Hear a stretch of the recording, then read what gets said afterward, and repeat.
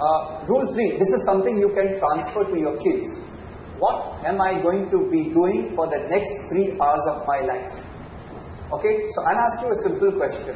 What are you going to be doing for the next three hours of your life? You're going to be sitting in a conference room listening to a lecture. This can determine what type of meal you can eat for its digestibility. Meaning, if I were to give you a biryani right now, right, at around 1 o'clock, after eating the biryani right now, what would happen to you? So who's after me and who, who's, who's the speaker after me has to be very cautious. Alright? Okay, so you ensure that none of them get biryani right now. Okay? So the tennis player, the tennis, the tennis player would be coming in for a training session. A simple question is, Sharmada, what did you eat? Sir, for lunch I had uh, this, this, this, this. So lunch was at 2 o'clock and she's coming for training at 4 o'clock. She needs to know if she ate that lunch at 2 o'clock, will it digest fast enough for her to not feel sluggish on court? Rule 4, which I'm finding very difficult to implement in India, because uh, I think I think it was Mr. Balu at his first session who was talking about how to plan for the tournament cycle, right? So you have an on season and you have an off season. A nutritionist requires this help. You need to decide as a coach, right? My kid is going to be going for these tournaments, so this is the on season. Mr. Ryan, please plan the diet for on-season cycle this way. And off-season, I want to focus on muscle growth. I want to reduce the fat in the athlete. That can be done in terms of what we call in nutrition periods of negative and positive. Negative where we lose the fat. Because in India, if you take the in-body analyzer on a lot of tennis players, 25 plus percent of fat in the body. Okay? So if 25% plus fat is there in the body, imagine an athlete carrying a bucket of water. Fat is dead mass. Imagine two athletes, one with a bucket of water and one with a bucket without any water in it. Which athlete is faster across the court?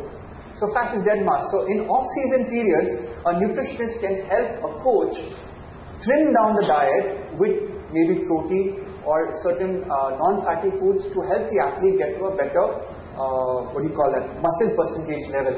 So one key test you can do on all your players is you can invest in a small in-body analyzer machine, a machine which measures the fat percentage. It costs about five or ten thousand rupees.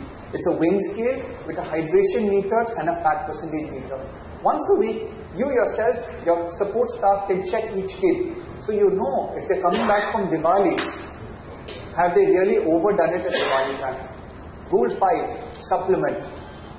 Most nutritionists that you will meet in India say, no, you don't require supplements, you can do it naturally.